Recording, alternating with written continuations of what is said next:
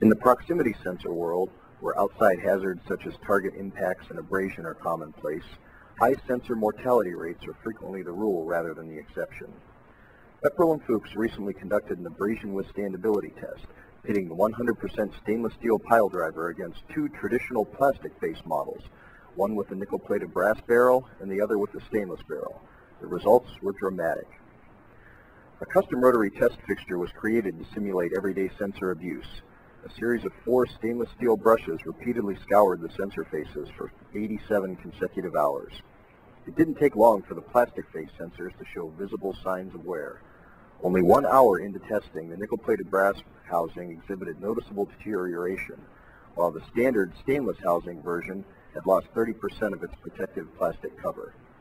After two hours, the physical degradation of both plastic face models had dramatically progressed. Meanwhile, the metal face pile driver was virtually unscratched.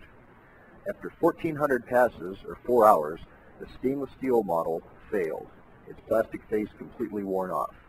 Several minutes later, the nickel-plated brass model also failed. An amazing 87 hours after the test began, after 31,320 passes, the pile driver was removed, tested, and found to be 100% fully functional. Pepperl and Fuchs pile driver, proven to last 20 times longer than traditional proximity sensors.